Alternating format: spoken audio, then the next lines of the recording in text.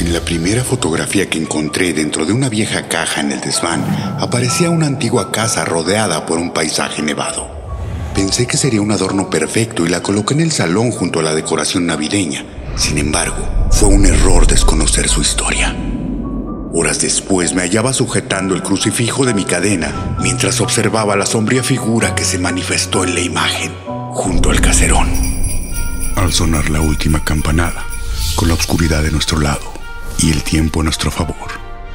Cuando la gente común se ha ido a dormir, solo quedamos nosotros. Somos el viento, somos la noche, somos privilegiados. Somos parte de una dimensión alterna que existe del otro lado del espejo.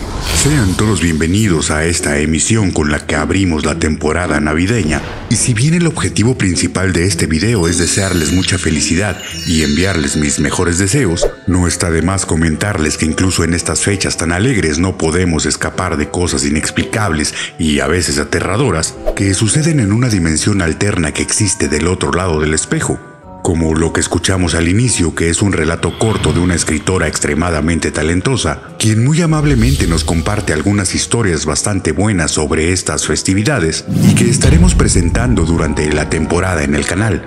Su nombre es M.A. Álvarez, a quien mando muchos saludos y agradecimientos, pero sobre todo me gustaría expresarle mi admiración total.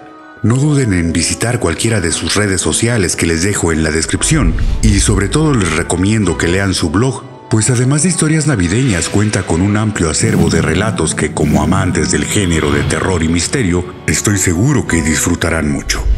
Volviendo al objetivo de este breve video, espero que estas fiestas estén plagadas de amor, amistad y felicidad para ustedes y sus seres queridos. Sinceramente les deseo que la pasen de lo mejor, se cumplan todos sus deseos y reciban todos los regalos que anhele su corazón. Por mi parte, el regalo que pido para esta Navidad es pasar un año más a su lado y que juntos sigamos descubriendo la magia, los mitos y los misterios que existen en una dimensión alterna del otro lado del espejo.